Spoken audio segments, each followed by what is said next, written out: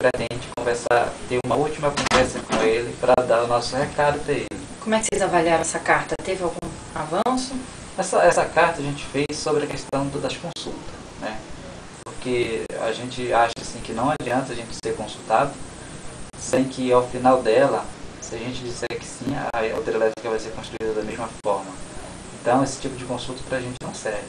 Vai servir apenas para dividir o povo né, e enganar o povo, eles enganaram no Belo Monte, que enganaram na hidrelétrica de Telespírito e todas as outras que foram construídas. A gente já sabe que isso não vai parar, mas é, é o direito, é a obrigação, é o que está escrito na lei, na Constituição, é isso. Então a gente quer apenas isso, que seja cumprido o que está escrito na lei, que eles mesmos criaram.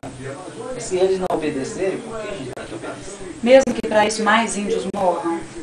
A gente está morrendo de todo jeito, independente de hidrelétrica ou não, a gente está morrendo de território, lutando por seus territórios, né? A hidrelétrica é mais um fato que vem trazer mais assassinatos para as comunidades indígenas, mas nem por isso nós vamos ficar de braço cruzado. É, a gente vai para a luta, né? vários povos estão se juntando a nós, justamente porque essa luta não é de um povo só, é de todo o povo brasileiro.